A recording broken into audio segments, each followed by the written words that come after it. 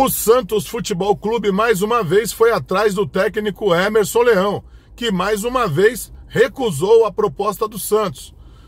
O Santos gostaria que o Emerson Leão viesse a primeiro momento para substituir Carilli em caso de uma possível queda do treinador.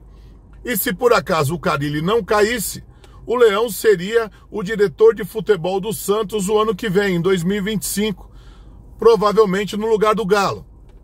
E o técnico Emerson Leão, o ex-técnico Emerson Leão, não aceitou. Eu acredito que o Emerson Leão é um, uma grande pessoa, um grande profissional, fez um grande trabalho no Santos, foi campeão com os meninos da Vila em 2002. É um cara que tem muita história para contar, mas eu acho que para o Santos já deu. O Santos precisa andar para frente.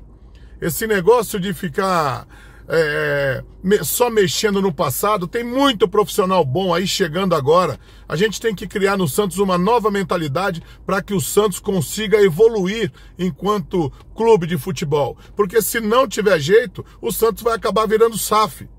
A única forma que o Santos tem de mudar a mentalidade é trocando os profissionais, colocando gente nova e séria ou então vai ter que virar uma empresa para que as pessoas dessa empresa consigam gerir o futebol da melhor forma possível.